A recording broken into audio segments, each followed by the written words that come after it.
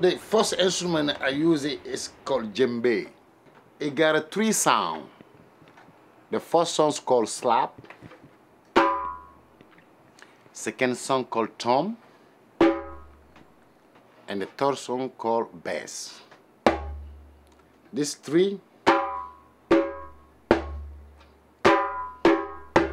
you have to put together and build your rhythm. Slowly go like this.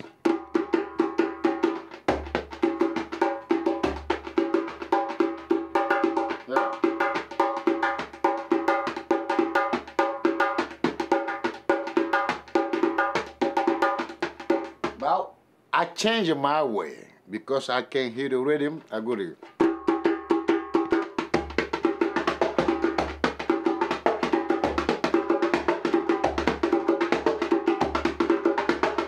That's the way I play three rhythm together, like this.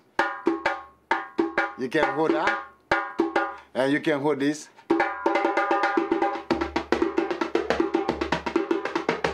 And you can hold this